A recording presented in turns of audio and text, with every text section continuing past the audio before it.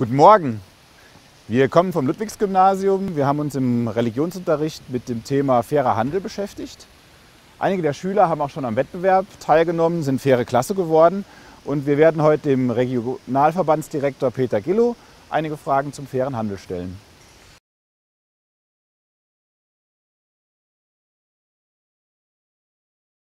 Ja, schönen guten Morgen. Ich bin schon ganz gespannt, was ihr mich fragen wollt. Also uns interessiert auf jeden Fall, was, also wie finden Sie Fairtrade? Finden Sie es wichtig? Ich finde das deshalb wichtig, weil jeder von uns äh, mit einem Fairtrade-System, mit Fairtrade-Produkten auch äh, seinen, seinen eigenen Beitrag, einen ganz konkreten Beitrag leisten kann, um äh, die Handelsbeziehungen zwischen den Ländern des Südens und uns ein Stück weit zu verbessern. Wenn Sie selber einkaufen gehen, achten Sie sehr auf Fairtrade-Label? Äh, ich achte darauf, so, so gut es geht. Ähm, aber es gibt natürlich bei weitem nicht äh, jedes, jede Ware, die ich einkaufe, mit Fairtrade labelt. Ja? Äh, Bananen sind wahrscheinlich weit verbreitet, Kaffee, Tee ist weit verbreitet, da achte ich auch sehr drauf. Obst, soweit, ich, soweit es mir begegnet, ich freue mich auch, dass es zunehmend mehr Blumen gibt, mhm. ne, in, auch, auch in, in, Supermärkten. Äh, dann bringe ich schon mal einen Strauß Blumen mit, äh, fair, fair, gehandelt.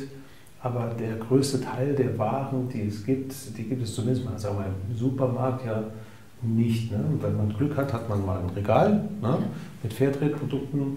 Aber es gibt ja bei weitem nicht, nicht alle, äh, alle Waren. Ja. Äh, welche Produkte werden Ihrer Meinung nach noch immer unter zu schlechten Bedingungen hergestellt und bräuchten mehr Aufmerksamkeit? Also zuallererst möchte ich mal das Gewinnen von Rohstoffen mhm. ansprechen. Äh, was äh, jeder von uns in der Tasche hat, ne, so ein Handy, äh, das wird aus ganz vielen verschiedenen Komponenten hergestellt, die irgendwo in Afrika zum Beispiel von Kindern aus der Erde gebuddelt werden unter unmöglichen Zuständen.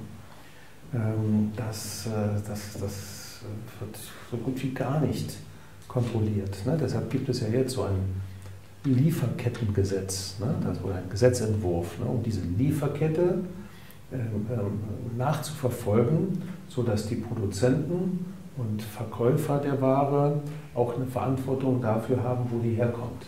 Zucker ist äh, ein, ein, ein, großes Problem. Da werden riesige Mengen Zucker auf der Welt ja verbraucht. Ne?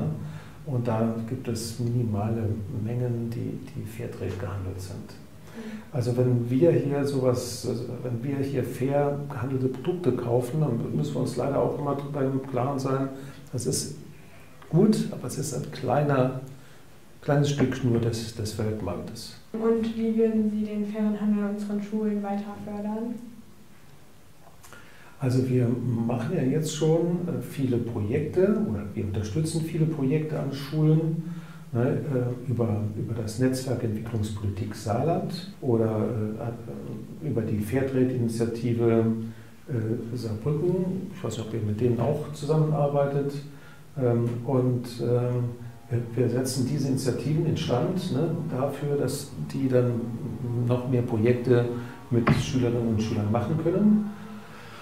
Was wir äh, auch schon viel stärker gemacht haben, äh, immer mehr gemacht haben und jetzt durch Neuausschreibungen richtig gut beeinflussen können, die, die Shops, die ihr an den Schulen habt, ne, die Kioske, die äh, wollen wir mit den neuen Mietverträgen dazu verpflichten, dass sie in ihrem Warensortiment auch fair gehandelte Produkte haben.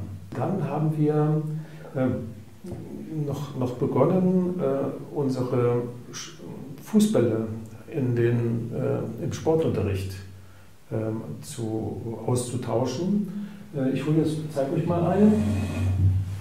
Schau mal, das ist ein fair äh, gehandelter Ball.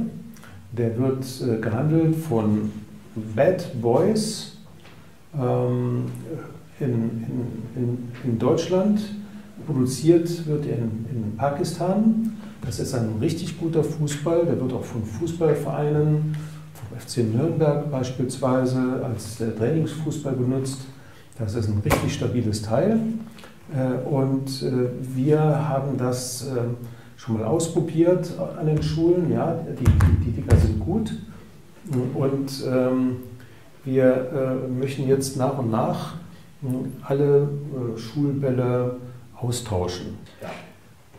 Also der Ball ist fair gehandelt, aber was ich selbst nicht so genau weiß, und das ist jetzt meine Frage an die Produzenten, was genau wird mit der Prämie, die ja auf diesem Ball liegt, mit der Fairtrade-Prämie, äh, mit, mit, dem, mit dem Geld, was zusätzlich äh, eingespielt wird über den Ball, was wird damit genau gemacht in Pakistan? Grundsätzlich teilt sich die Prämie, die man für einen Ball äh, auf, in eine 15-prozentige Prämie. Davon gehen 5% einmal an die Herstellerfabrik, die per Compliance Fee äh, diese 5% einsetzt, um die Arbeitsbedingungen vor Ort zu verbessern.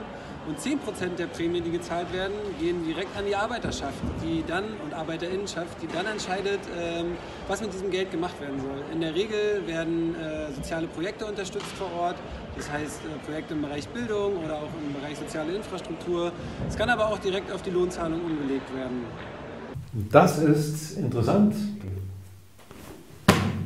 Dankeschön für das Interview. Super. Vielen Dank.